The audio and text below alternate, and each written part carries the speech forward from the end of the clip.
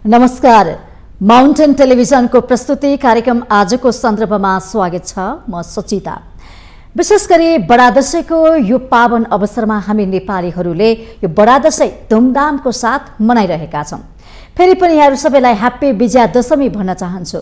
जहाँ हुनुहुन्छ जस्तो अवस्थामा हुनुहुन्छ यो दसैँले सबैको मुहारमा हाँसो ल्याओस् खुसी ल्याओस् उमङ्ग र उत्साह ल्याओस् भन्ने पनि शुभकामना हामी व्यक्त गर्न चाहन्छौँ। र दसैँलाई अझ बढी रमाइलो बनाउने नेपालीहरूको चाड पर्व परम्परा रीतिरिवाज छ। यही रीतिरिवाज चाडपर्वले नेपालीहरूलाई एक सूत्रमा एउटै माला उनेर लगाइरहेका छन् र एकताबद्धमा बाँधेको छ। चाडपर्वको आफ्नै महत्त्व विशेषता र सन्देश पनि रहेको छ। बडादशै भन्ने बित्तिकै असत्यमाथि सत्यको जित भएको। एकता हुने भाइचारा विकास गर्ने सद्भाव सहयोग यी सबै कुराहरू चाहिँ आउँछ। धार्मिक मूल्य मान्यता पनि यस्तै रहेका छन्। आज हामी विशेष गरी मुलुकको संस्कार संस्कृति रीतिरिवाजका विषयमा चर्चा परिचर्चा गर्नेछौँ र दसैँ गीतहरू पनि यति बेला घर घरमा बजिरहेका छन्। दसैँ गीतहरू सयपत्री मखमली पनि ढकमक्क फुलेका छन्। दसैँ भन्ने बित्तिकै सबै नेपालीहरूमा उमङ्ग उत्साह खुसी पनि आउने गर्छ। ह्याप्पी विजया दशमी भन्दै आज हामीले बोलाएका छौँ। एकजना गायिका हुनुहुन्छ पुरानो गायिका हुनुहुन्छ पवित्रा घरती मगर हुनुहुन्छ। उहाँ पार्टीगत रूपमा हेर्ने भने नेकपा एकीकृत समाजवादी पार्टीको पोलिट ब्युरो सदस्य पनि हुनुहुन्छ र विगत लामो समयदेखि उहाँले सांस्कृतिक क्षेत्रमा गायनको क्षेत्रमा चाहिँ विशेष योगदान पनि दिनुभएको छ। उहाँसँग राजनीति भन्दा पनि हामीले अन्य बेलामा फोकस भनेको हाम्रो चाहिँ राजनीति एजेन्डा हुन्थ्यो भने तर आज हामी विशेष गरी मुलुकको संस्कार संस्कृति रीतिरिवाजले पनि यो देशलाई समृद्ध बनाउनको लागि विकास गर्नको लागि प्रगति गर्नको लागि टेवा पुर्याउँदै आएको छ। नेपालको संस्कार संस्कृतिको विषयमा आज विशेष गरी आज हामी छलफल गर्नेछौँ र उहाँ पोलिट ब्युरो सदस्य हुनुहुन्छ। पार्टीगत हिसाबले भने पुरानो लोक गायिका हुनुहुन्छ आउनुहोस् उहाँलाई कार्यक्रममा स्वागत गरौँ। स्वागत छ यहाँलाई। नमस्कार छ धन्यवाद छ। अनि यहाँलाई म यो दसैँको बेला बोलाउनु भएको छ। यहाँलाई म हार्दिक धन्यवाद पनि दिन चाहन्छु।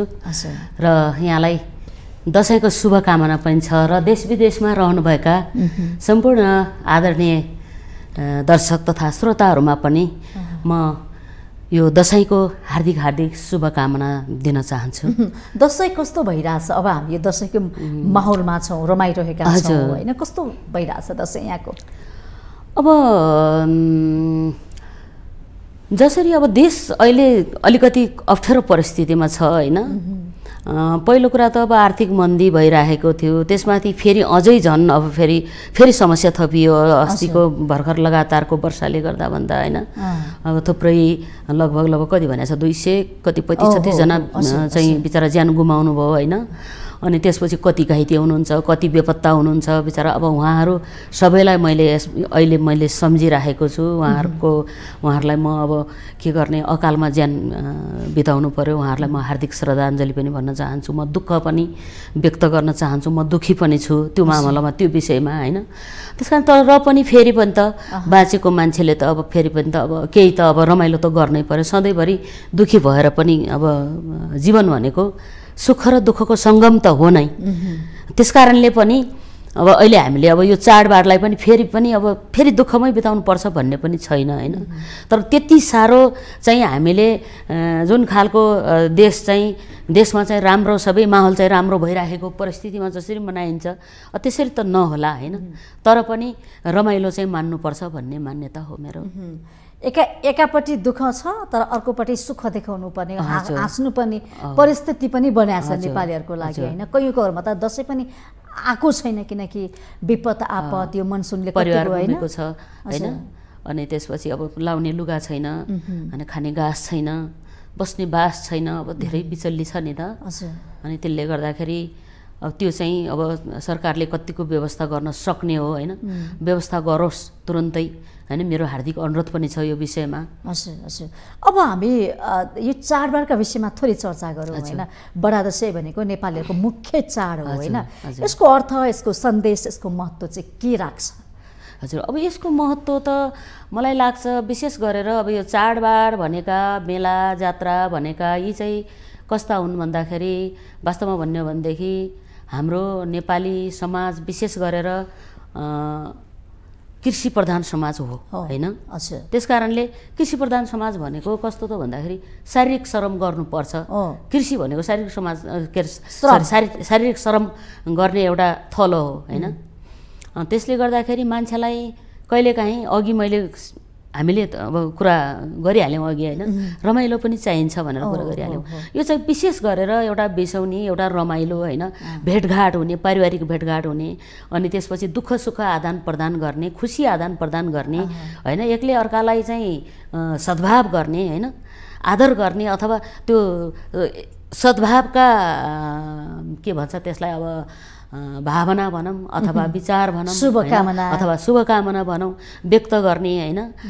कसैको लागि राम्रो होस् भनेर कामना गर्ने अथवा माथिकाले तलकालाई चाहिँ अब हाम्रो के अरे यो दसैँको चलन त सबभन्दा माथिकोले तलकालाई चाहिँ आफूभन्दा तलकाहरूलाई चाहिँ टिका लगाइदिएर टिका दक्षिणा गरेर अनि आशीर्वाद दिने शुभकामना दिने यो चाड हो होइन। यो एउटा महत्त्वपूर्ण चाड हो यो नेपालीहरूको भन्ने लाग्छ मलाई होइन? यो परम्पराहरूले नेपालीहरूलाई एक सूत्रमा बाँध्नको लागि त्यो भूमिका खेलेका छन्? यो परम्पराहरूले एक सूत्रमा बाँध्ने भूमिका चाहिँ परम्पराहरूले चाहिँ यसलाई एक सूत्रमा बाँध्ने त भन्न नमिल्ला जस्तो लाग्छ मलाई है मेरो आफ्नो विचारमा। यसले चाहिँ परम्पराहरू भनेको बरु आआफ्नो जातिहरूको परम्परा छ होइन? जस्तै अब छेत्री बाहुनहरूको विशेष गरेर अझ यो हिन्दू धर्म अथवा यो दसैँ चाडबाड भनेको विशेष गरेर छेत्री बाहुनहरूले मनाउने हाम्रो जा अब नेपालमा त थुप्रै जात जातिहरू छन् नि भाषाभाषीहरू? अनि जात जाति भाषाभाषीहरू छन्। अब यसलाई चाहिँ बरु अब सबैले समान ढङ्गले मनाउने होइन। सबैलाई त्यही खालको स्वतन्त्रता त्यसपछि अब स्वतन्त्रता मात्रै होइन सबै धर्मप्रति एक खालको सम्मान होइन।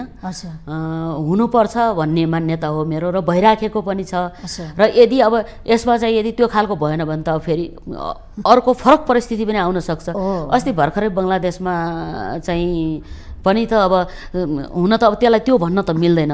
यो चाहिँ एउटा घटनालाई पनि तुलना गरिन्छ जोड्न होइन? सकिन्छ तर कुनै बेला थियो जस्तै यो सन् उन्नाइस सय एकहत्तरको बेला थियो त्यहाँ चाहिँ वास्तवमा भन्ने हो भने त्यो भाषाकै हिसाबले चाहिँ बङ्गलादेश छुटिएको हो नि त होइन? भाषाको यति महत्त्व छ होइन?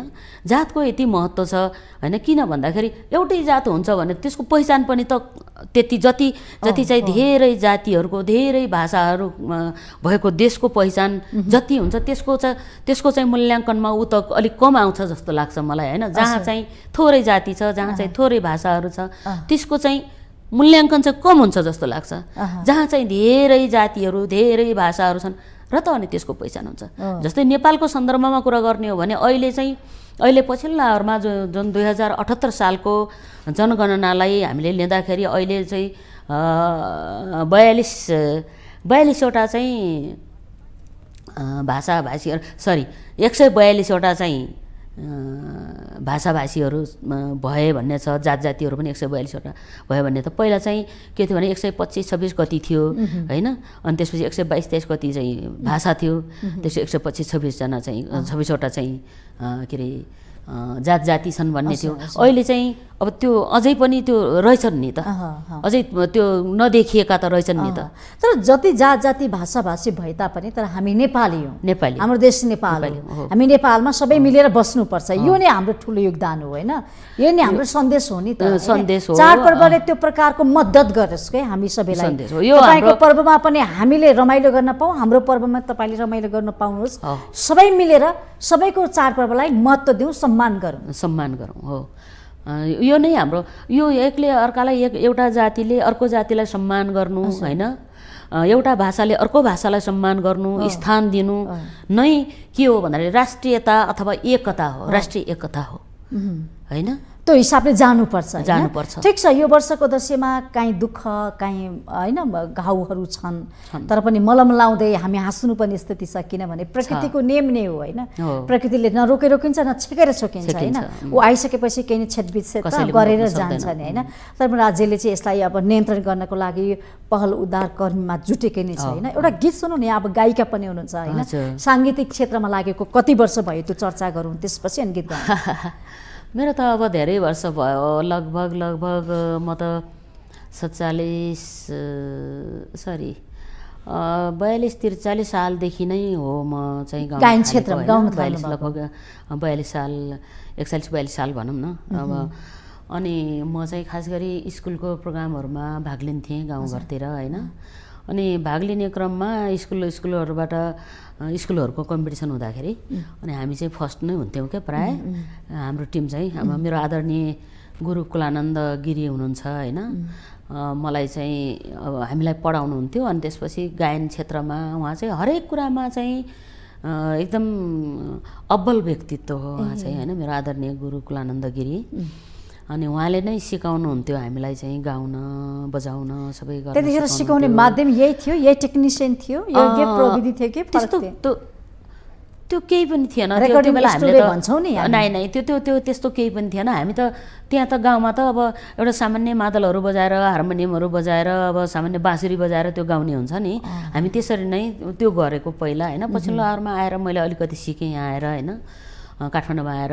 अनि त्यो बेला चाहिँ मैले केही सिकेको थिएन। जस बेला चाहिँ म राइजमा आएँ म त दोहोरी पनि गाउँथेँ होइन। त्यो बेला मैले केही पनि सिकेको थिएन। सारे गमको सा पनि सिकेको थिएन? कति सालमा सिक्नुभयो तपाईँले? मैले सिकेको त लगभग लगभग अडचालिस उनपचासमा काठमाडौँ आएर सिकेँ होइन? अनि त्यसपछि चाहिँ यो आरआर क्याम्पसमा रविन्दास श्रेष्ठ बित्नुभयो बरा विचार अस्ति हार्ट हार्ट एट्याक भएर बित्नुभयो अस्ति। भर्खरै।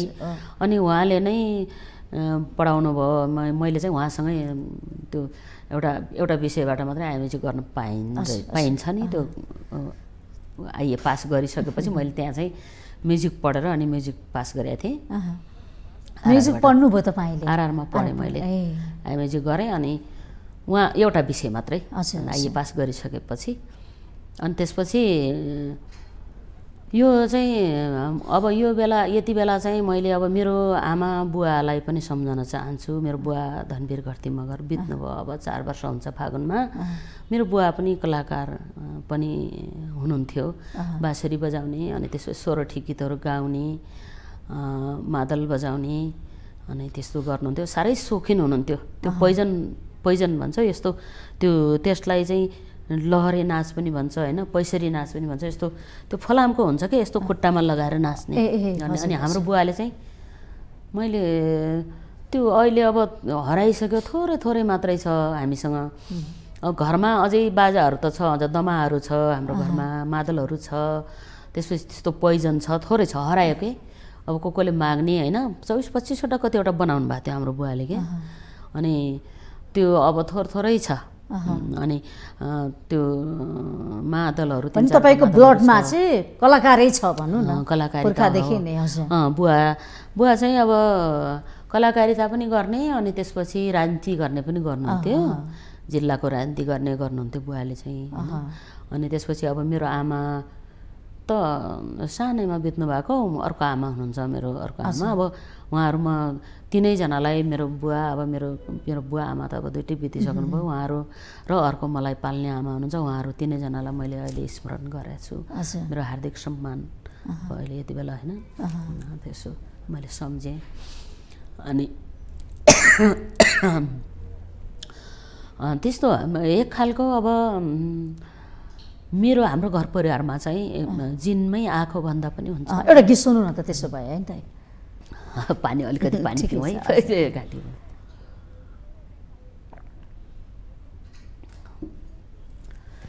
यो सुदूरपश्चिमतिरको डेउडा गीतहरू पनि गाएको छु मैले। यो साह्रै मलाई मन परेको गीत मैले गाउने त गाएँ लगभग लगभग सयभन्दा बढी गाएँ कि मैले सुदूरपश्चिमको डेउडा गीतहरू। त्यो मध्येमा मलाई धेरै सयभन्दा बढी गाउनु गाएँ। होला। अनि त्यो त्यो मध्येमा मलाई धेरै मन परेको अब निकै चलेको पनि थियो त्यो एल्बम त्यति बेला। सुदूरपश्चिम एउटा सानो क्षेत्र हो हुन त। तर सानो क्षेत्रमा धेरै चलेको। त्यो बेला त कुनै बेला त क्यासेटहरू चल्थ्यो नि त बस्थे होइन।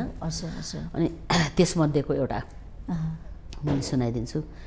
अति मार्मिक हुन्छ सुदूरपश्चिमको गीतहरू। बुझ्यो भने अब बुझेन भने अब त्यो के हो के हो होइन? बुझ्यो भने चाहिँ अलिक मार्मिक पनि हुन्छ। गयो साल विन्याको माला दाडिम चौका ढोल पैरा लगाउन पाएन। दाजु कोही छन् हल्का कोही गैरा दाई परदेश गयाको सुने दाडिम चौका ढोल पैरा माइत दाजु कोही छन् हल्का कोही गैरा माइत दाजु कोही छन् हल्का कोही गैरा अह, यसले के भन्न खोज्यो यो गीतले यसले चाहिँ यो गीतले चाहिँ कस्तो भन्दाखेरि चाडबाड आएको हुन्छ होइन? अनि त्यसपछि अब दाई चाहिँ विशेष गरेर सुदूरपश्चिमतिर चाहिँ इन्डिया जाने अनि चौकीदारी गर्ने चलन बढी हुँदो रहेछ क्या। अनि चाडबाडमा पनि दाई घरमा आउन पाएको हुँदैन। यस्तै दसैँ तिहारहरू जस्तै चाडबाड अब यो यही मुख्य चाडबाड भयो होइन। अब यस्तो चाडबाडहरूमा पनि ऊ दाई आउन पाएको हुँदैन। अनि त्यसपछि अनि दाजु बहिनीले अनि त्यस्तो खालको गीतहरू गाउँछ अह। अनि दाई दाडिम चौका ढोल पैरा भनेको त्यो दाडिम चौका भन्ने ठाउँ छ होला मेरो विचारमा होइन? ढोल पैरा भनेको सायद त्यस्तो पहिरो सहिरो जाने ठाउँ होला केही होला। अनि त्यसपछि त्यो कोही छन् हल्का कोही गएर कोही धनी छन् कोही गरिब छन्। कोही छन् हल्का कोही गहिरा। त्यो हिसाबले बुझाउन। खोजियो होइन? समाजमा कोही धनी छन् कोही गरिब छन्। सबै मिलेर बस्नुपर्छ। चाडबाडको बेलामा सबै मिलेर सहयोगको हात फैलाएर काम गर्नुपर्छ। अब पोहोर साल पनि अब जस्तै गयो साल उहिनेको माला पोहोर साल उन्नीको माला पनि मैले लाउन पाएन दाइलाई होइन। अनि तिमी परदेश छौ भन्ने सुनेर म माइत आइन भनेर त्यस्तो ए त्यो। खालको गीतहरू? त्यही। यहाँ पुरानो गायिका हुनुहुन्छ होइन। के छ अहिले गायन क्षेत्रको वर्तमान अवस्था? के देख्नुहुन्छ? गायन क्षेत्रको वर्तमान अवस्था त पहिलेको भन्दा धेरै राम्रो छ। अहिलेको परिस्थितिमा त अब सबैजनाले त्यसैबाट चाहिँ आफ्नो जीविकोपार्जन गर्न नसके पनि केही व्यक्तिहरू केही कलाकारहरू हुनुहुन्छ राम्रो गरेर त्यसबाट चाहिँ जीविकोपार्जन चलाइरहनु भएको छ। राम्रो गरिरहनु भएको छ। खुसी लाग्छ। हजुर। पहिले पहिले यो प्रकारको अवसरहरू अ, पहिले पहिले कम थियो। कमै थियो होइन? कतै कतै अब विदेशहरूमा कार्यक्रमहरू भइहाले पनि एकदम कम थिए जस्तो लाग्छ मलाई कम हुन्थे जस्तो लाग्छ। तपाईँ देश विदेश जानु भएको छैन? यस्तो बेलामा त म- चाडबाडमा बोलाउँछ नि त अ, कलाकारहरूलाई। म चाहिँ त्यो बेला त्यस्तो जाने अवसर पनि भएन खास गरी। म चाहिँ खासै गरी इन्डिया र चाइनाको मुलुकहरूतिर चाहिँ गएको छु। अन्त गीत गाउनैकै लागि हङकङतिर- जानुभएको? हजुर हङकङतिरसम्म पुगेको छु होइन। अब अरू त अन्य मामला त मेरो कस्तो भयो भन्दाखेरि विशेष गरेर म चाहिँ गाउने चाहिँ निकै अफरहरू आउँथ्यो। अनि सत्तालिस अडचालिस सालदेखि नै म चाहिँ खास गरी पार्टी चाहिँ जनसांस्कृतिक सरी पार्टीकै जनवर्गीय सङ्गठन हो जनसांस्कृतिक महासङ्घ होइन?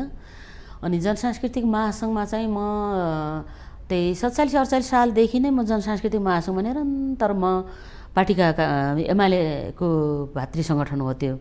अनि पार्टीका अभियानहरूमा म हिँड्ने कार्यक्रम गर्ने र त्यो कार्यक्रममा हिँड्दाखेरि जब त्यहाँ हामी चाहिँ त्यो जनसांस्कृतिक मञ्चमा लागिसकेपछि बाहिरका गीत गाउन मिल्दैन थियो। अनि पार्टीले चाहिँ त्यसमा चाहिँ वर्जित गरेको थियो। हामीले चाहिँ प्रगतिशील गीतहरू मात्रै गाएर अनि पार्टीका कार्यक्रमहरूमा अभियानहरूमा हिँड्ने त्यस्तो। प्रगतिशीलका गीत चाहिँ कस्ता हुन्थ्यो त त्यसो भए? प्रगतिशील गीतहरू भनेको खास गरी अब त्योभित्र चाहिँ अब प्रगतिशील भन्दाखेरि चाहिँ कस्तो भनेदेखि जस्तै समाज समाजका गीतहरू। हुन त अरू पनि हुन्। तर अरू भनेको कस्तो भन्दाखेरि खालि रमाइलोको लागि मा मात्रै भयो ती पनि समाजकै हुन् हुन त। तर समाजलाई चाहिँ अलिकति डोर्याउने खालका गीतहरू होइन?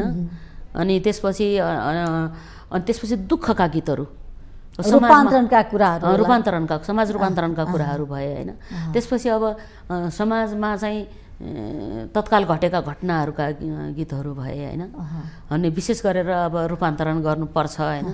भन्ने खालका गीतहरू भए अनि त्यस्ता गीतहरू गाउने हामी हिँड्ने हिँड्ने गर्थ्यौँ अनि केही त अब पार्टीका गीतहरू पनि। भाकाहरू यस्तै हुन्थे कि के? औ भाकाहरू उस्तै उस्तै याद छ। तपाईँलाई पार्टीका यी प्रगतिशील गीतहरू गाएको स्मरण छ? अब एउटा चाहिँ छ।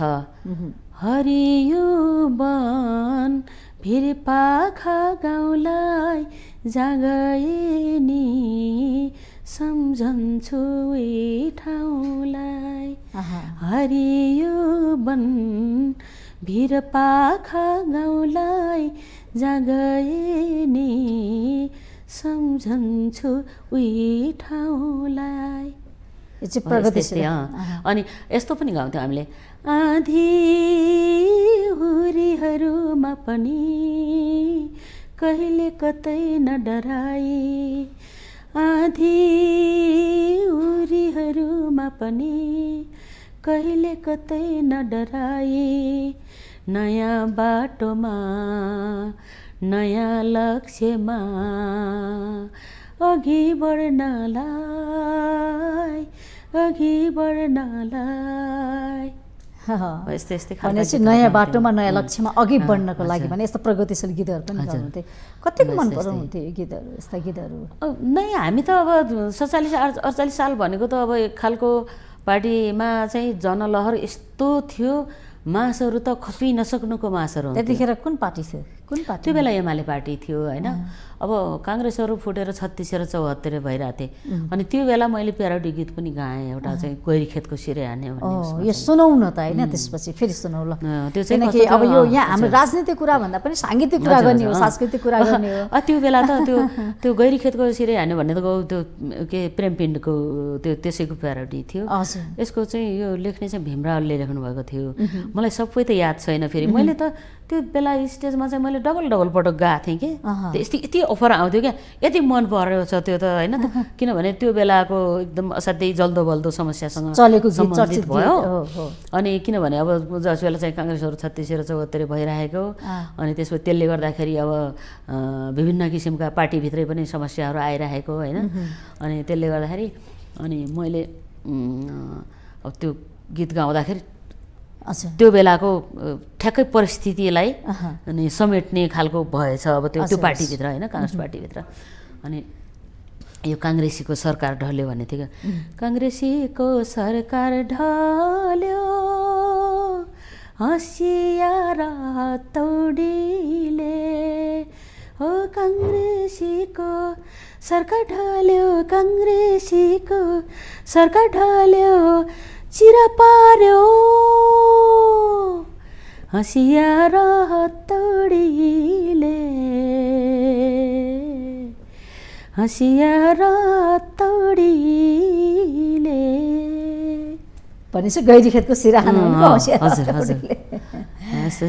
सबै शब्दहरू आएन मलाई। यस्तै मैले चाहिँ फुल नै गाएको थिएँ। त्यतिखेर त्यतिखेर व्यस्त कि अहिले व्यस्त हुन्छ तपाईँ व्यस्त भन्ने कुरा त त्यो बेला पनि म व्यस्त थिएँ त्यो बेला व्यस्त हुने परिस्थिति कस्तो थियो भने पार्टीका अभियानहरू बढी हुन्थे हजुर। अनि त्यसपछि दिनमै पनि तिन चारवटा कार्यक्रमहरू हामी त सु- राम्रोसँग सुत्न पनि पाउँदैन थियो भने पनि भएन। अब गाउँघरमा जाने जनताकै घरमा खाने जनताकै घरमा सुत्ने अब काहीँ त हामी त यति सानो बेडमा तिन चारजना केटीहरू खप्टेर पनि सुत्थ्यौँ। अब सबैको घरमा लुगा हुन्छ भन्ने पनि छैन। सबैको घरमा पर्याप्त मात्रामा भूमिगत जीवन यस्तो सङ्घर्षको जीवन थियो नै भूमिगतमा म भूमिगत त भइनँ। भूमिगत जीवन त मेरो थिइनँ तर पनि गाह्रो चाहिँ गाह्रो हुन्थ्यो नि त अब होइन। सबै ठाउँमा सहज हुँदैन थियो। त्यसमा पनि छोरी मान्छेलाई गीत गा गीत गाएर हिँड्नलाई राजनीति गर्छु भन्न सजिलो थियो। हाम्रो घर परिवारमा त त्यो त थिएन तर हामीभन्दा पहिला पहिला अब जस्तै मैले गाउने बेला पनि अब सबै सबै ठाउँमा छोरी मान्छेहरूलाई गाउन दिँदैन थिए होइन। अनि अब हामीभन्दा अगाडि त झनै गाह्रो थियो। तर हाम्रो घर परिवारमा चाहिँ त्यो खालको थिएन। पऱ्यो फ्यामिलीमा त अब सजिलो भएर हाम्रो बुवा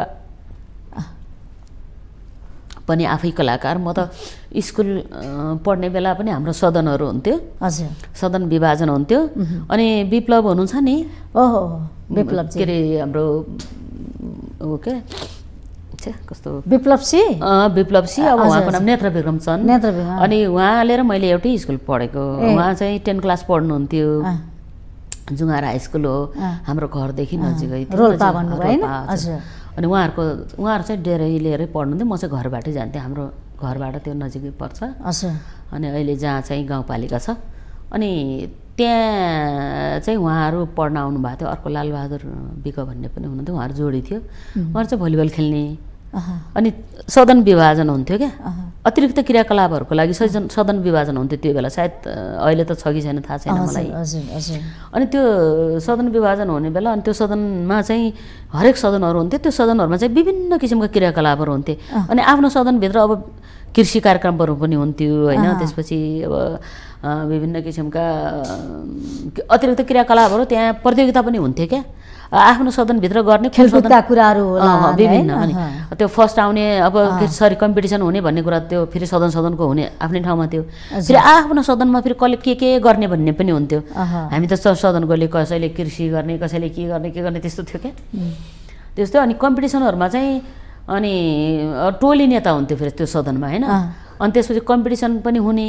अनि त्यसपछि टोली नेता चाहिँ हाम्रो सदनको टोली नेता चाहिँ विप्लव चन्द हुनुहुन्थ्यो। ए। अनि त्यसपछि म गाउने उहाँ चाहिँ भलिबल खेल्ने।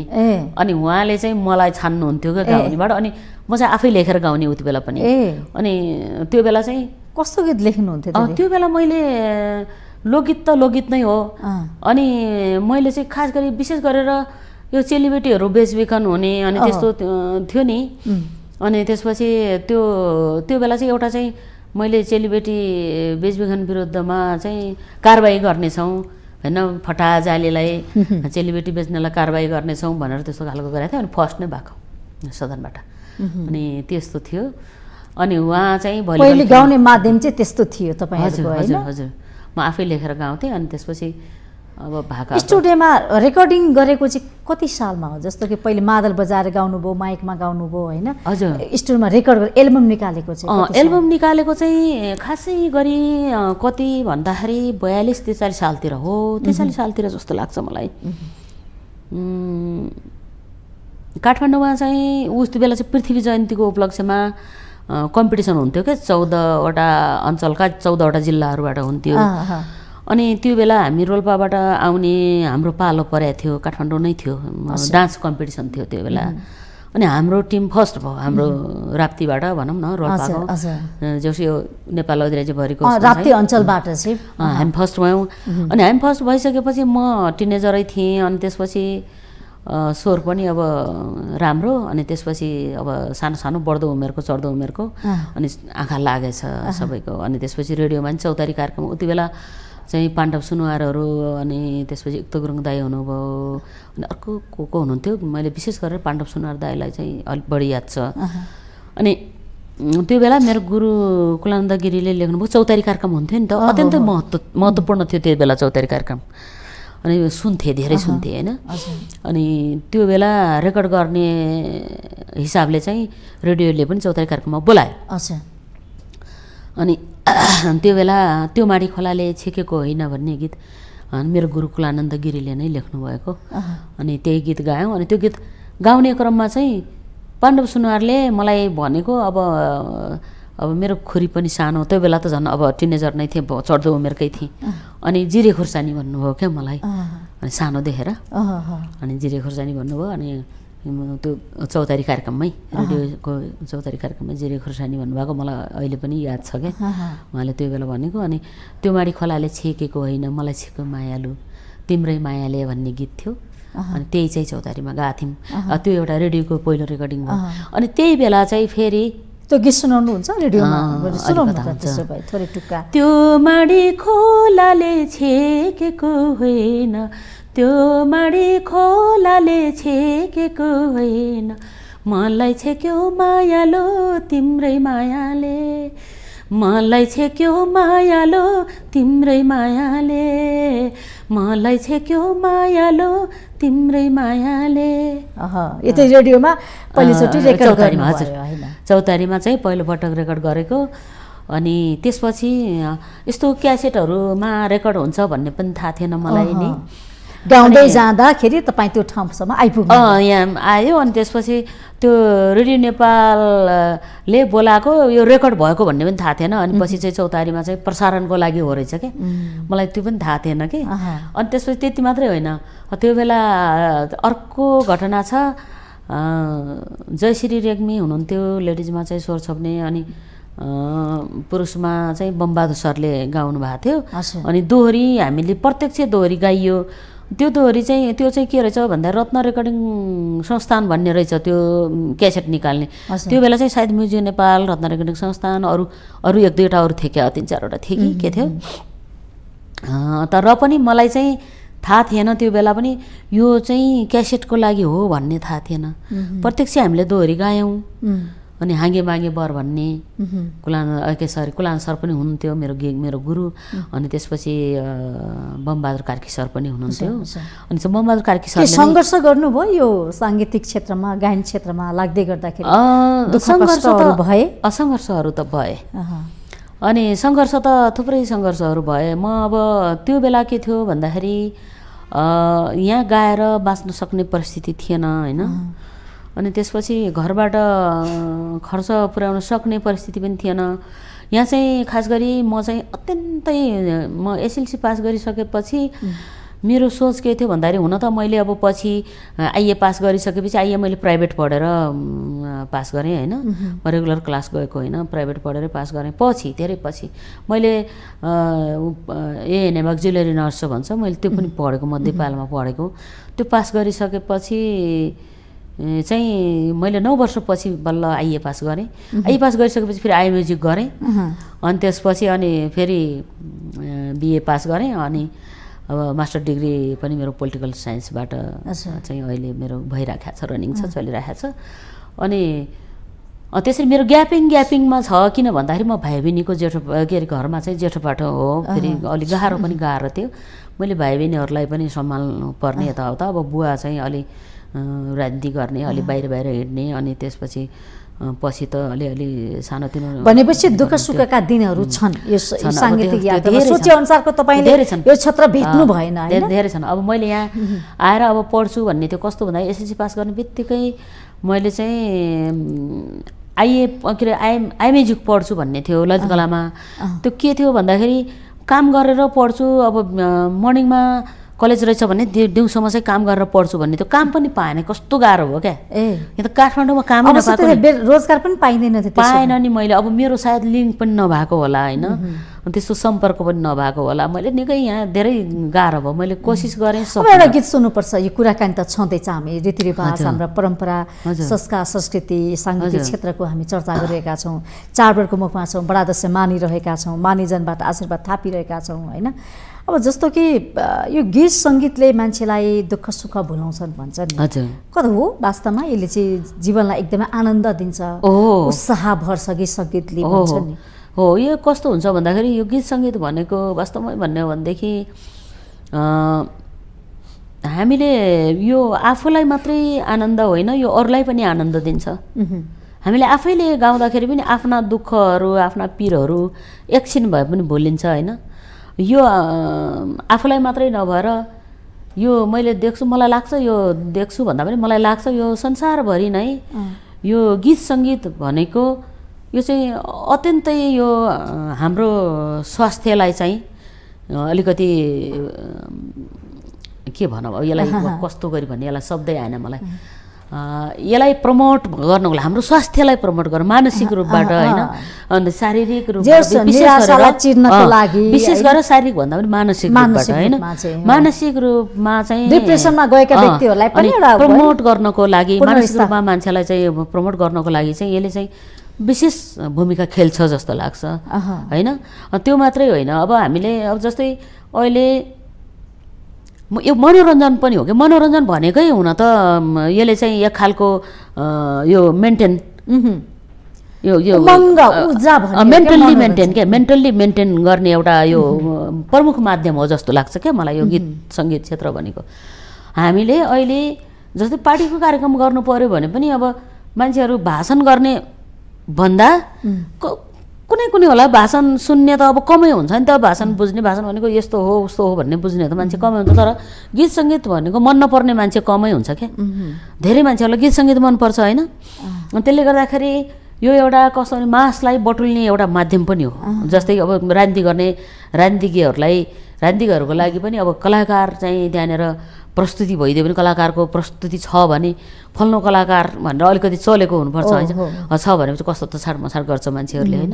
कति मान्छेहरू जम्मा हुन्छ? भाषण गर्ने ठाउँ भनेपछि त्यति मान्छे जम्मा हुँदैन क्या।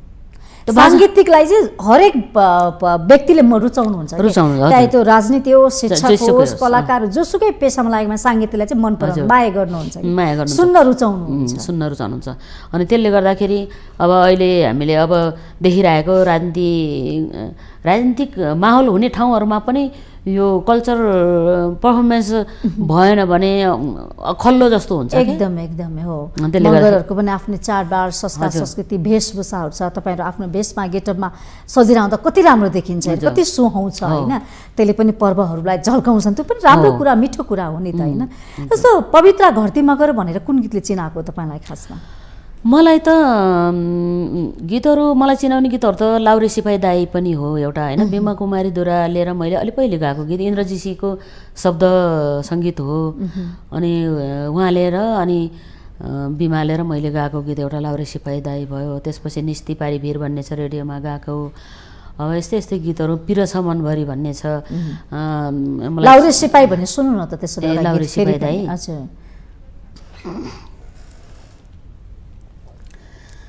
हे नौलो नौलो पिरती जोडेर जाँदैछौ नि। छिट्टै नै छोडेर लाउरे सिपाई दाई भोमाया लाउँदिन छोडी जानेलाई। पिरती जोडेर जाँदैछौ नि। छिट्टै नै छोडेर लाउरे सिपाई भोमाया लाउँदिन छोडी जानेलाई भोमाया लाउँदिन छोडी जानेलाई अहँ, अरू गीतहरू के के छन् त अब? जस्तो कि यसले पनि तपाईँलाई चिनायो अझ बढी दर्शकमा हजुर, पुऱ्यायो। भन्नुभएको छ होइन? हजुर। अनि गीतहरू पनि होला नि त? प पविता गर्ती मगर भनेको यो हो उहाँले चाहिँ यस्तो गीत गाउनुहुन्छ। भन्ने अब। अरू गीतहरू अब एउटा जस्तै जन सरी अँ जनयुद्धकालमा। अब जनयुद्ध चलिराखेको थियो अनि यो मेरो आफ्नो शब्द त होइन हुन चाहिँ। तर त्यो बेला चाहिँ असाध्यै क्याची भएको अब त्यो परिस्थितिलाई म्याच गरेको? म्याच गरेको होइन क्याच गरेको। गृहयुद्ध भन्ने एल्बम थियो। अनि त्यो रामेश्वर सापकोटाको शब्द हो त्यो चाहिँ। अनि त्यो चाहिँ अब आज पनि बम पड्क्यो अरे रुकुम रोल्पातिर। अब जनयुद्ध सुरु भएको त रोल्पाबाट हो एकदमै जनयुद्धको मूल जरो रोल्पा भन्छ अनि त्यो बेला पनि त्यो यो यो एल्बमले पनि अलिकति राम्रै मार्केट लिएको थियो। आज पनि बम पड्क्यो रे रुकुम रोल्पातिर। जो मरे नि मेरै सन्तान यही आमालाई पिर। देखे बुढा सपनी नराम्रो बिग्रिन्छ कि यो देशकै घर हाम्रो? देखे बुढा सपनी नराम्रो बिग्रन्छ कि यो देशकै घर हाम्रो। सन्देशमूलक त्यो त्यो परिस्थितिलाई होइन कसरी संरक्षण गर्ने भन्ने कुरा थियो। जनयुद्धमा यो गीत गाउनु भएको थियो। जनयुद्ध चलिरहेको थियो। जनयुद्धमा त होइन त रेकर्ड गरेको गीत हो त्यो। जनयुद्ध चलिरहेको थियो मैले चाहिँ यहाँ रेकर्ड गरेँ। जस्तो कि यो यस्ता गीतहरू गाइरहँदाखेरि कतिको जोखिम चुनौतीहरू पनि आउँछ हुन्छ नि हस्तक्षेपका कुराहरू? यस्तो खालको गीतहरूले खासै त्यस्तो चुनौती त मैले महसुस गरिनँ किनभने कसैलाई त्यो खालको थिएन। एउटा एक खालको चाहिँ सन्देशमूलक थियो। युद्ध युद्ध लड्न हुँदैन भन्ने कुरा त त्यो त राम्रो कुरा हो नि। त्यो युद्ध लडिराखेका स्वयं युद्ध लडिराखेकाहरूका निम्ति पनि सन्देश हो नि? हुन त चाहना चाहनै गरेर युद्ध भएको त होइन होइन। केही परिवर्तन होस् होइन। रूपान्तरण होस् देशको लागि केही होस् भनेरै ल- युद्ध भएको हो। नचाहेरै भएको हो तर तर अहिलेको सन्दर्भमा चाहिँ के हो भने हामीले परिवर्तनको लागि मान्छे मार्नु पर्दैन नि त। पर्दैन। हिजो त ज्यादती भयो अन्य अत्याचार पनि त भयो नि। हामीले त मान्छेलाई गोली हानेर मार्ने हामीले भनेको नमान्ने अँ। त्यो त शोषण हो नि त क्रूर हत्या हो नि त होइन त्यो गर्न पाइँदैन नि त्यो गर्न पाइँदैन भनेको आन्दोलन त शान्ति तरिकाबाट पनि गर्न सकिन्छ नि सडक आन्दोलन जेसुकै आन्दोलन पनि। कसैलाई असर नपुर्याइकन त्यो एउटा मानवीय धर्म हो जस्तै होइन? जस्तै इन्डियामा तपाईँको महात्मा गान्धीले चाहिँ विभिन्न किसिमका शान्ति आन्दोलनहरू गरे। सत्याग्रहहरू गरे होइन? अनि कति गरे नि त? त्यो थियो माध्यमहरू त त्यसो। भने प्रभाव माध्यम त धेरै छ नि हामीसँग। मान्छेलाई हत्या हिंसा शोषण कुटपिटी ठुलो कुरा होइन नि त। आन्दोलनको माध्यमहरू थिए। अब त्यो परिवर्तनको स्वरूप? एक खालको विडम्बनै भन्नु पर्ला होइन? अब केही त परिवर्तन भयो होइन। जनचेतनाको स्तर पनि अलिकति अब त्यसले उठायो उठाउन त। केही चाहिँ उठायो। कति मान्छे लाग्दो अँ, घटना छ कहाली जनयुद्धलाई लाग्दो, सम्झिनु भने त। कति नारीहरूको सिउँदो पुछ्यो कति आमाहरू विधवा बस्नु बन्नु परेको छ अझै पनि होइन। बेपत्ता हुनुहुन्छ होइन कति मात्रै छ नि होइन, अब घटना अझैसम्म अब कतिका शरीरमा छर्राहरू छन् हो हेर्नुहोस् त कति घाइते भएर बस्नु परेको छ कस्तो छ खास। युद्ध त राम्रो होइन कि म चाहिँ जहाँसम्म लाग्छ। अहिले विश्वमा युद्ध चलिरहेछ होइन नेपालमा त्यो युद्ध पनि एकदमै तितो घटना हो। यसलाई हामी सम्झिन चाहँदैनौँ। यस्तो घटना नहोस् पनि भन्छौँ कि तर मान्छेहरूले दलहरू बारम्बार यस्ता घटनालाई सम्झाइरहेका बल्झाइरहेका छन् होइन। तर यो घटनाहरू हुनु हुँदैन कि यो यो यो राम्रो कामै होइन कि यसलाई हामीले दिने नै होइन। यदि कसैले सोध्छ भने। पनि उसलाई हामीले निरुत्साहित गर्नुपर्छ क्या त्यस कारणले नै अब त्यो जुन गृह युद्ध एल्बम थियो त्यो चाहिँ युद्ध हुनु हुँदैन भन्ने। त्यो चाहे सरकारी पक्षलाई होस्। बुद्ध जन्मेको ठाउँ शान्तिको देश भन्छौँ हामीले हेर्नुहोस् त। होइन मान्छेले अहिंसा त्याग्नुपर्छ हिंसा हिंसा गर्नु हुँदैन भन्ने कुरा छ नि त होइन? त्यसले त अब राम्रो चाहिँ गरेन किन भन्दाखेरि भौतिक संरचनाहरूमा पनि हाम्रो मानवीय क्षति मात्रै होइन। भौतिक संरचनाहरू पनि कति ध्वस्त भयो। मान्छे मारेर? परिवर्तन हुन्छ त यो कस्तो नचाहिँदो कुरा के? हुँदैन नि, हेर्नुहोस् न। होइन मान्छे मारे पनि मान्छेलाई कुटेर मान्छेलाई यातना दिएर मान्छेलाई शोषण गरेर दमन गरेर अत्याचार गरेर मान्छेलाई लुटेर पनि हुन्छ त। हुँदैन। अहिले अब परिवर्तन आउँछ त्यसरी। आउँदैन। परिवर्तन त काम गरेर हुने हो नि। हामी विकासका नाममा धेरै ऊ भयो कि उश्रृङ्खल भयौँ कि? राजनीति गर्ने नाममा पनि धेरै अराजकताहरू छन् कि। मान्छेहरू यतिसम्म अराजकता भयो कि कार्यक्रममा कुटाकुट गर्ने कुर्सी फालाफाल गर्ने ए यो किन उद्दण्ड त्यो एउटा- त। त्यो जुन हजुरले भन्नुभयो त्यो त्यो राजनीतिक संस्कार भित्रै पर्दैन हेर्नु है। राजनीतिक संस्कार भनेको चाहिँ त्यस्तो त्यो होइन। राजनीतिक संस्कार भनेको जनताहरूलाई आफ्नो आफ्नो राजनीति वा चाहे राजनीति गर्ने व्यक्ति होस् चाहे राजनीति गर्ने दल होस् चाहे संस्था होस् होइन। संस्था भने पनि दल भयो होइन? त कस्तो हुनु भने भन्दाखेरि आफ्नो तरिकाबाट आफ्नो कसरी चाहिँ जनतालाई प्रभाव पार्ने? त्यो हो नि। पिटेर मारेर कुटेर कसैको चाहिँ बर्खिलाप गरेर। त्यो त्यो- त्यसले चाहिँ क्रान्ति त्यहाँ क्रान्ति हो त त्यो भन्नुहोस् त। त्यो त्यो त्यो यो त त्यो यो त। ज्यानमारा हो नि हो कि नि भन्नुहोस् न। मान्छेले। त्यसरी क्रान्ति क्रान्तिको नाममा मान्छेलाई दुःख दिइरहेछ सताइरहेछ हो। होइन त्यो यो यो दलको एउटा एजेन्डै होइन नि। यसरी त जानु हुँदैन कुनै पनि पार्टी दल नयाँ होस् पुरानो कोही पनि जानु हुँदैन कि। मान्छेलाई माया गरेर सम्मान गरेर सद्भाव गरेर इज्जत दिएर पो अगाडि बढ्ने हो त। तर अहिलेका दलहरूको सोचाइ विचार पहिले त्यसरी जुन रूपान्तरणका कुरा गर्नेहरूको व्यवहार आनी बानी हेर्दा चाहिँ अचम्मित भइन्छ कि हेर्नुहोस् हो मलाई पनि त्यो त्यो खालको प्रवृत्ति चाहिँ म आफैलाई पनि मन पर्दैन राम्रो लाग्दैन। हेर्नुहोस् त हाम्रै दाजुभाइ कसैको त्यो भएर म कसैको त्यस्तो म विरोध पनि गर्दैन। किन भन्दाखेरि विरोध भनेको कस्तो हुनुपर्छ भने त्यो आलोचना एक खालको आलोचना भनेको त्यस्तो खालको आलोचना होइन के? होइन? सुधारा सुधार सुधार उन्मुख होइन? सकारात्मक आलोचना पो हो त के? होइन। कसैलाई गाली गलोज गरेर सुन्नै नसक्ने खालको। त्यो खालको चाहिँ म आफूलाई चाहिँ त्यो खालको गतिविधिहरू मन पनि पर्दैन। अब म आफू म आफू पनि त्यो त्यस्तो खालको चाहिँ चाहन्न। तपाईँ पनि राजनीतिमै हुनुहुन्छ साङ्गीतिक क्षेत्रमा पनि हजुर म त जनसांस्कृतिक मञ्च हुने बेला लाग्यो नि। म दास। प्रसृत हुनुहुन्थ्यो अध्यक्ष जेबी टुहुरे हुनुहुन्थ्यो अध्यक्ष त्यो बेलादेखि म हिँडिराखेको हो। अहिलेसम्म सक्रिय हुनुहुन्छ तपाईँ? पछि होइन अहिले त कहिलेकाहीँ। अहिले त अब विशेष गरेर अब पार्टीको जिम्मेवारी छ अब सङ्गठनहरू निर्माण गर्नुपर्ने होइन? अब कहाँ कहाँ के के के के भइराखेको छ हेर्नुपर्ने। त्यो छुट्टै पाठ हो सब यो कलाकारिताको कलाकारिताको क्षेत्रलाई पनि त अब तपाईँ छोड्न चटक्कै छोडेको त भन्दिनँ अब त्यसलाई चाहिँ अब सायद एक खालको अब मुख्य रूपमा थियो पहिला भूमिका थियो भने अहिले चाहिँ साइड? साइडमा भयो। त्यस्तो छ। कतिको मनपर्छ तपाईँलाई चाहिँ गीत सङ्गीत? मनपर्छ। म चाहिँ खास गरी भन्ने हो भने यो नजानिदो तरिकाले म चाहिँ गायिका बन्छु भन्ने त थिएन मलाई होइन? बच्चामा म गुनगुनाउँदो रहेछु क्या आफै। गुनगुनाउँदै रहेछु अनि त्यहाँबाट गुनगुनाउने बेला अ यसको स्वर राम्रो छ है भनेर भनेको सुन्थेँ। सानोमा क्या सानोमा हजुर। हुन्छ नि। त्यो अनपरास नमिलाइ नमिलाइकन कि। गीतहरूमा त अनपरास हुन्छ नि त। होइन? के अरे मध्य अनपरास अनि अन्त्य अनपरासहरू हुन्छ होइन। अनि त्यो अनपरासहरू नमिलाइ नमिलाइकन गाउने अनि रहर लाग्दो रहेछ क्या।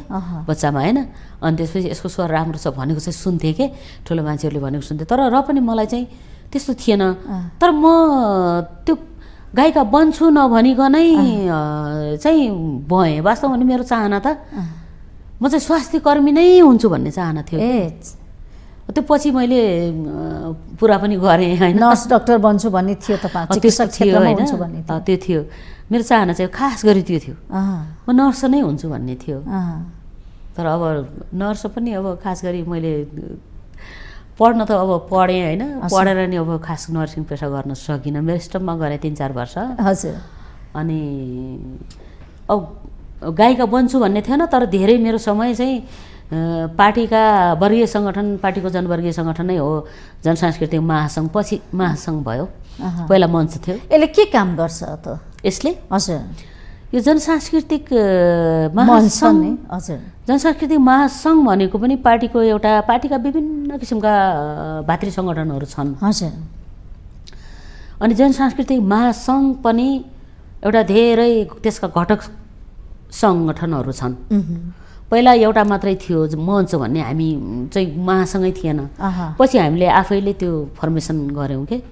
अहिले अहिले चाहिँ अब ललित कला मञ्च भन्ने छ अनि जनसाहित्य भन्ने छ जननाट्य भन्ने छ अनि नृत्य छ अनि त्यस विभिन्न किसिमका फाँटहरू छ त्यहाँ। अनि त्यो विभिन्न किसिमका फाँटहरूको चाहिँ सङ्घ चाहिँ जनसांस्कृतिक महासङ्घ भयो। त्यसले चाहिँ त्यो सङ्घले चाहिँ के गर्छ भन्दाखेरि चाहिँ विशेष गरेर चाहिँ पार्टीलाई नै ब्याकफोर्स गर्ने हो सपोर्ट गर्ने सहयोग गर्ने। अनि पार्टीले उसलाई सपोर्ट गर्छ। पा विशेष गरेर अझ पार्टीलाई सपोर्ट गर्नको लागि बनेका जस्तै तपाईँको अखिल नेपाल महिला सङ्घ धेरै? कुराहरू धेरै धेरै छन् भूमिकामा अझ आउन सकेन भन्छ नि जनवर्गीय सङ्गठन भन्छ नि।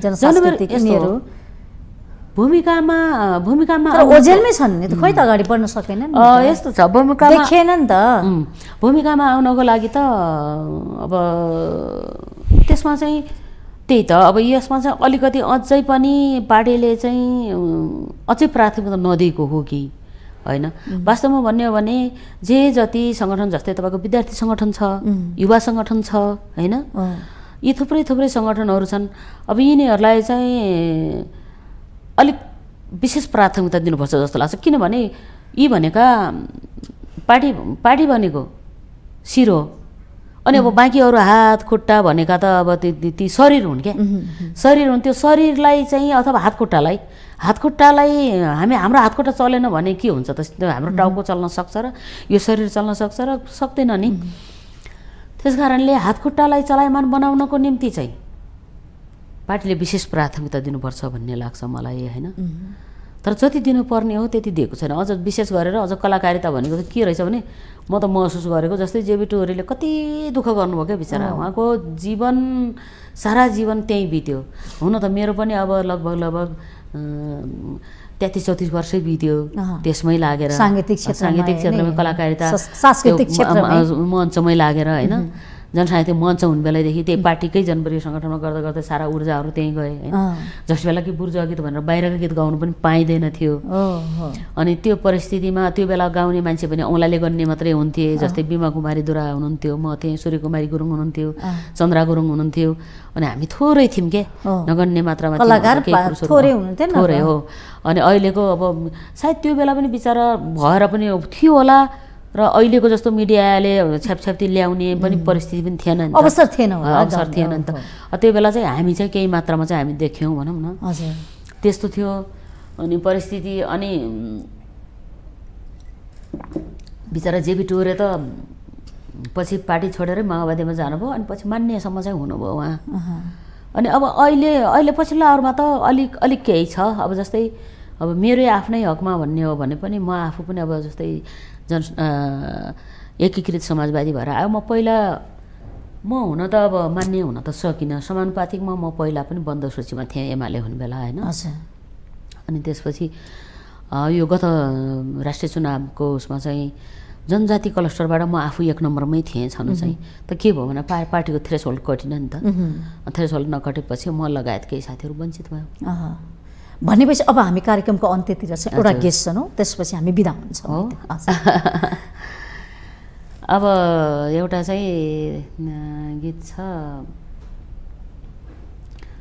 यो एउटा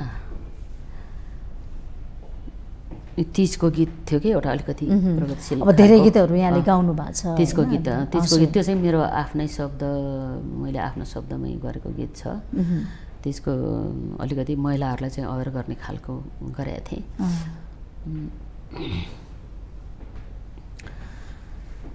अनि पासाङ लामु शेर्पाले नि सगरमाथा चढी थिइन् पासाङ लामु शेर्पाले नि सगरमाथा चढी थिइन् चुचुरोमा पुगेर झन्डा गाडी थिइन् चुचुरोमा पुगेर झन्डा गाडी थिइन् चुचुरोमा पुगेर झन्डा गाडी थिइन् महिलाहरूलाई अलिकति अवेर गर्ने खालको अलिकति आत्मबल बढाउने खालको गीत चाहिँ। तपाईँले गाउनु भएको छ होइन अब ठिकै छ तपाईँ राजनीति र यो साङ्गीतिक दुवै क्षेत्रलाई अङ्गाले अगाडि बढ्नुहुन्छ अब आगामी दिनमा पनि हजुर अब अझ गीत त अब आफूले बच्चैदेखि गाएको हुनाले अब आफूलाई इन्ट्रेस्ट लागिहाल्छ होइन? अब प्लस- अब एउटा न एउटा समाजलाई परिवर्तन गर्नको निम्ति एउटा न एउटा माध्यम चाहिन्छ। एउटा व्यक्तिले केही पनि गर्न सक्दैन होइन? चाहना हुन्छ। तर चाहना भएर पनि व्यक्तिले केही पनि गर्न सक्दैन। व्यक्ति केही पनि होइन। अनि त्यस कारणले चाहिँ अब एउटा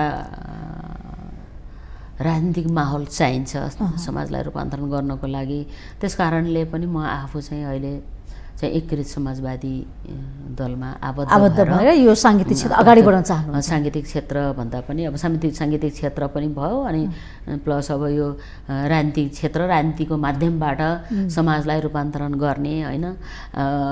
समाजका व्यतिथिहरूको विरुद्धमा आवाजहरू उठाउने होइन? अहिले विशेष गरेर जल जल्दो बल्दो रूपमा आइरहेको मेरो आफ्नो मुख्य मेरो आफ्नो धारणा भनेको भ्रष्टाचारलाई चाहिँ शून्यमा झार्नुपर्छ भन्ने हो। भ्रष्टाचार त शून्यमा झार्नुपर्छ। अनि चुस्त दुरुस्त तपाईँको प्रशासन भनेको कस्तो छ कि तपाईँको अहिले तपाईँले त भनसुन लाग्ने हेर्नुहोस्। भनसुन नलागोस् क्या भनसुन लाग्ने नहोस् क्या। प्रशासन भनेको अब यसको लागि तपाईँ तपाईँले आफ्नो भूमिका खेल्नुहुन्छ। गर्नुपर्छ भन्ने लाग्छ मलाई। हस् यो विशेष संवादको लागि जुन समय दिनुभयो त्यसको लागि धन्यवाद छ धेरै धेरै धन्यवाद छ है। अनि अब फेरि पनि म यो यो भन्न चाहन्छु देश विदेशमा रहनुभएका सम्पूर्ण आदरणीय दर्शक श्रोतागणहरूमा यो दसैँ बडा दसैँको उपलक्ष्यमा हार्दिक हार्दिक शुभकामना दिन चाहन्छु।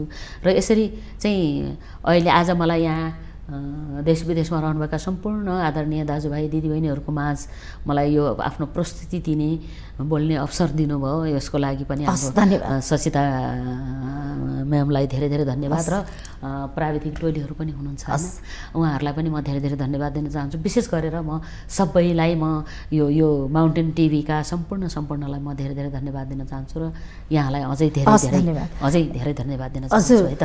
कार्यक्रम आजको सन्दर्भमा हामीले गायिकालाई बोलाएकै थियो। उहाँ चाहिँ गायिका हुनुहुन्थ्यो लोक गायिका देउडा भाका गाय गीतहरू पनि उहाँले गाउँदै आइरहनु भएको छ। पुरानो गायिका भनेर हामी चिन्ने गर्छौँ। भीमा कुमारी दुराको पालाका हुनुहुन्छ। अहिले पनि उत्तिकै रूपमा चाहिँ उहाँ सक्रिय रूपमा लाग्नु भएको छ। कला संस्कार संस्कृतिलाई जगेना गर्नको लागि चाहिँ उहाँले योगदान पनि दिनुभएको छ। पवित्र घरती मगरसँग हामीले संवाद गरेका थियौँ। कार्यक्रमबाट म पनि बिदा हुन्छु।